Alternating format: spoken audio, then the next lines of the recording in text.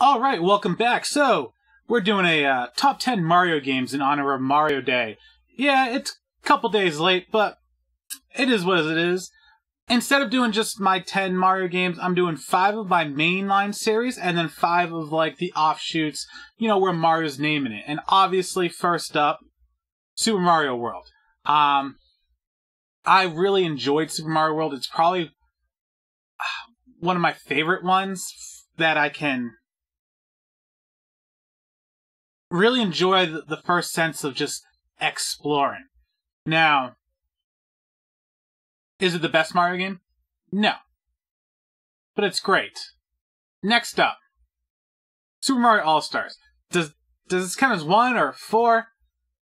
I mean, if you've never played Super Mario Brothers for the regular Nintendo, yeah, you gotta play the Super Mario All Stars for Super Nintendo. I remember when I got that, it made me relive all the series over again, and I loved it.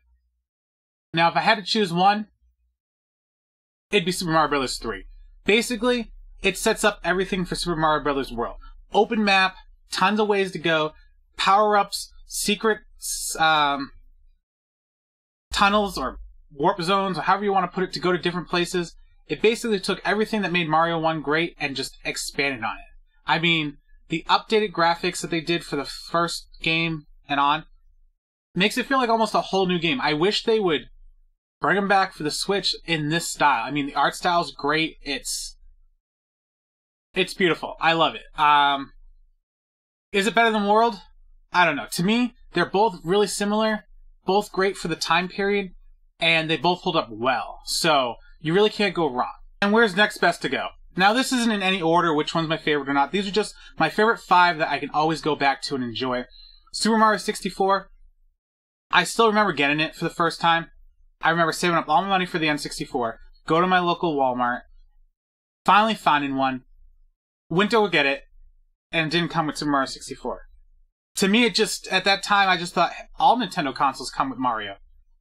But why didn't this come with one? But I was still like, alright, I'll get the N64, and I'll just wait.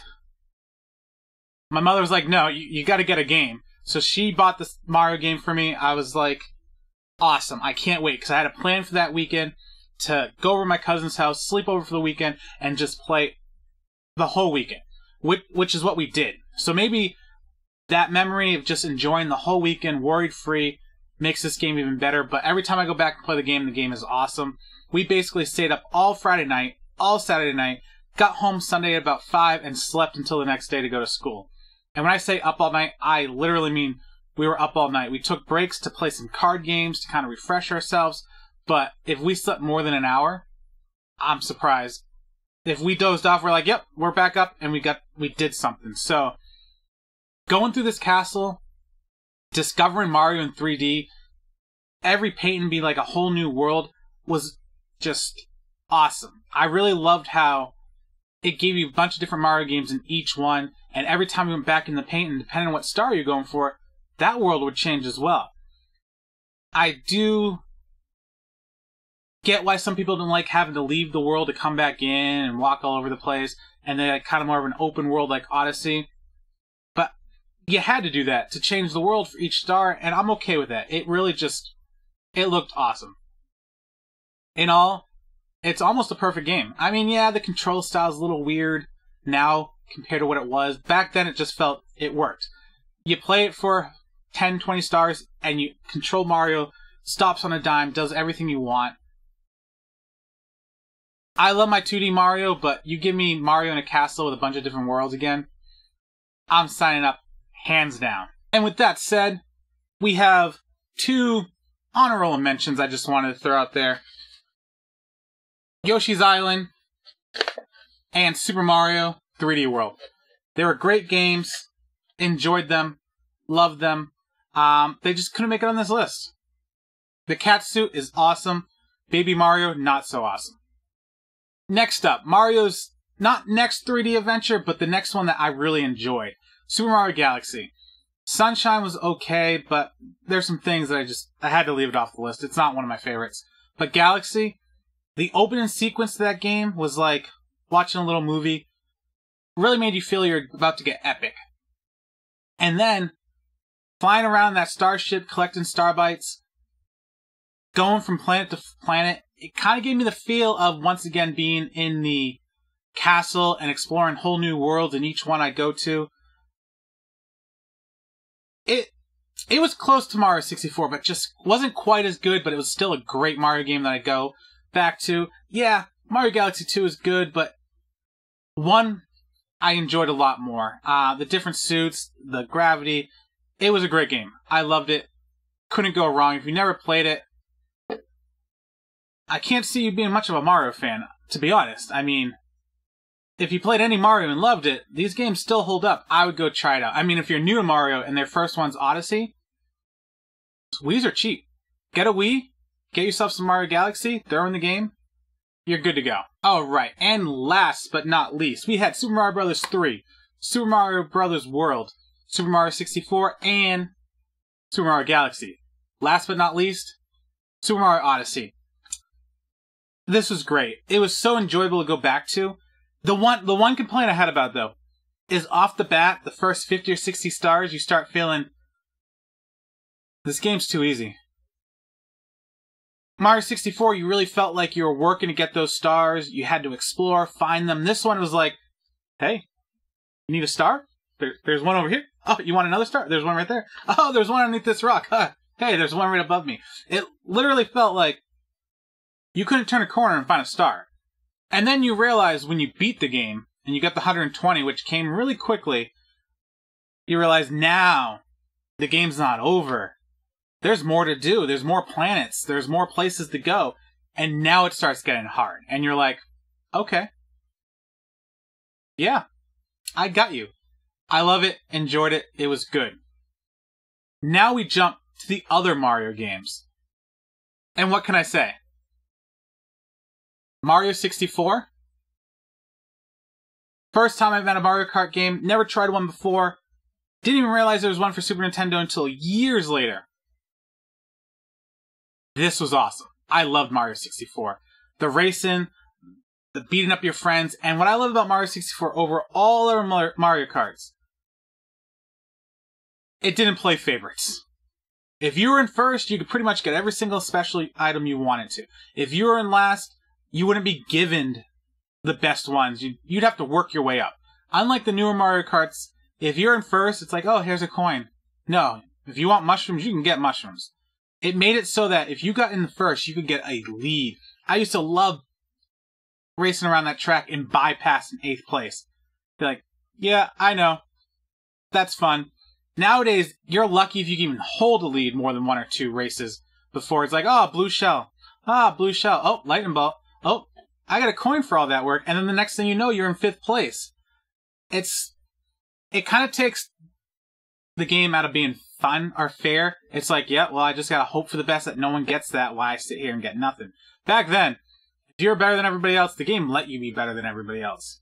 And if you're in last place, you better hope you get the things you need because it was hard. Do I not like the new ones? No, I like them. They're just 64. I felt had some uh, toughness. I wish they'd remake it for the Switch so I could play that with the settings of the N64. I don't want Nintendo to be like, well, let's make it a little bit easier. That was awesome. Okay, so let's move on. All right, next up, you have to go there. Super Mario Party 3. Yeah, there's one, there's two, but in my mind, 3 was the best.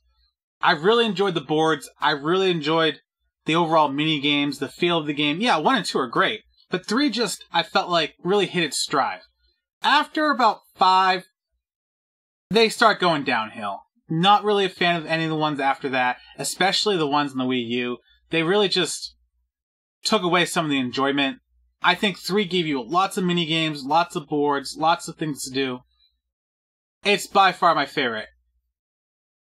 Yeah, there's really not much more you can say about Mario Party. If you never played Mario Party of the old ones, if you only played like the newest ones, get yourself an N64 or a GameCube. You know, the ones for the GameCube aren't bad and get yourself, you know, any of them. Three, I would say, is the best. But if you want to start simple, go with one. Yeah, definitely worth it. If you like Mario Party, go back and try the old ones. And then there's Luigi. Luigi's Mansion. What can I say? When I first played this game, I was not a fan. I stopped playing it. I got it with the launch. Three games you had to get with it if you wanted to get the GameCube, and it came with it. I was like, it's not a Mario game, but I'll give it a try.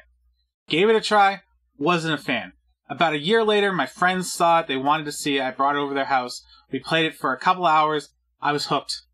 I was like, why didn't I notice this the first time I played? I must have been so disappointed about not Mario game that I couldn't I couldn't figure it out. So now after that, got into it, loved the game.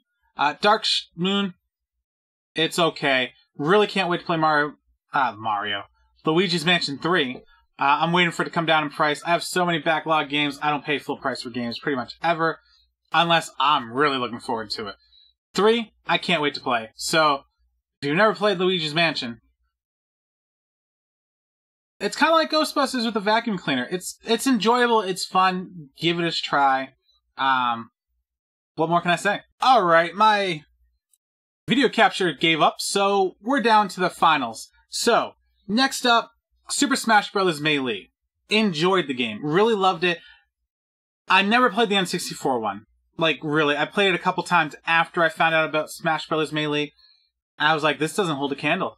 I love Melee because of the single player mode, the way it allowed you to play and build up your characters and unlock new things all by yourself.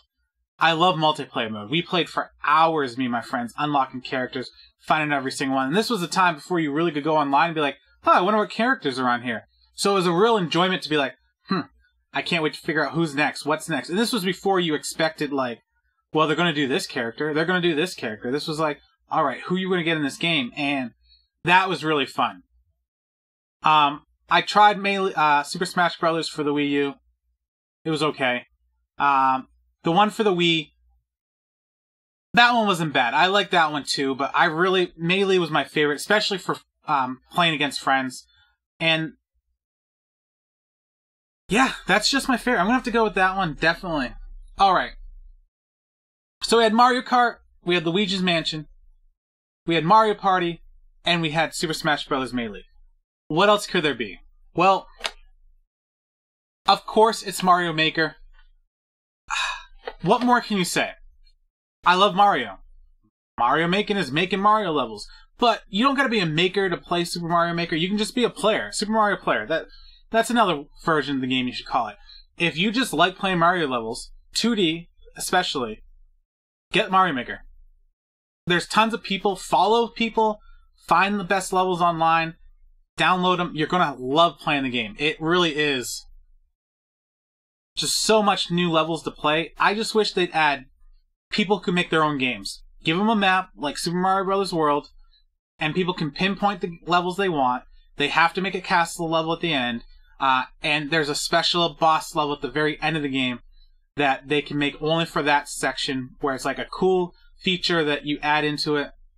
That way you could download someone's game, and there really are people talented enough that could fill up that list of games and play it like you're playing a Mario game.